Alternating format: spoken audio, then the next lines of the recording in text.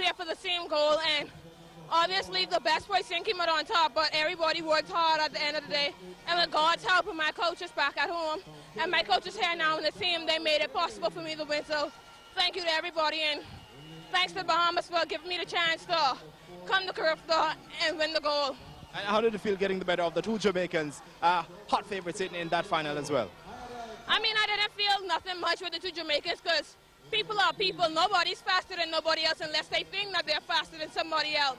I mean, the time just shows who's better. So at the end of the day, Jamaica, Jamaica's got in track and field, but I just think just ain't good enough. Thank you, Antoinette, and all the best. Thank you. You're welcome. Thank you very much, Jermaine. We're strong. They're going at lane four. That's Jazeel Murphy, former under 17 Kirkwood champion. He's in lane four. In lane five, from uh, the Bahamas, Chavez Hart. Looked good in qualifying. He's from the Bahamas. Tall, Kevin Bailey Cole, the Kirkwood Trials champion in Jamaica. 10-3-2 in Kingston to qualify for the team. Look very good. Lane 6, Kemar Bailey Cole.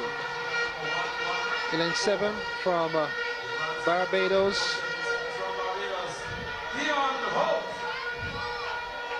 It's well Dion Hope of uh, Barbados on the outside. And uh, Summons on the outside in lane uh, number 8, Simons of Bermuda. The record in the event 10.11 and uh, the World Junior record 10.01 and uh, they head to the blocks. The middle four lanes, two from Bahamas, two from Jamaica. The gauntlet has been thrown down. The Bahamians have said we can win all four 100 meters here at the Carifta Games 2011 in Jamaica. Mackey third last year, but Hart looks the best of the Bahamians. Murphy improving at the start, and Kemar Bailey Cole great at top speed.